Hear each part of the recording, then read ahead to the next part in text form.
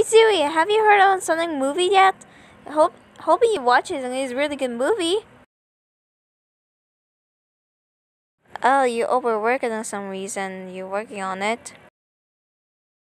Are you working on the H2O coming dub? You're just working on it. Oh my gosh, shut the heck up!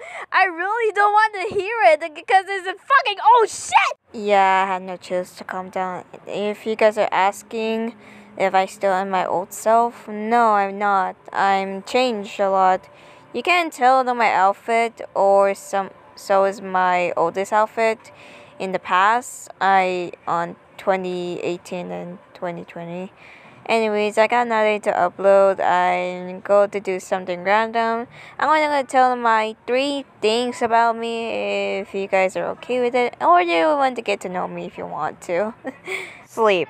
Let me tell you, I always sleep a lot because of that.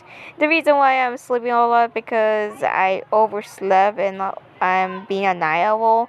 That's because I was hanging out with my friends a lot, and so was my bestie and my boyfriend on Discord. Um, make sure you go on my Discord server if you want to. And yeah, this is how I'm just.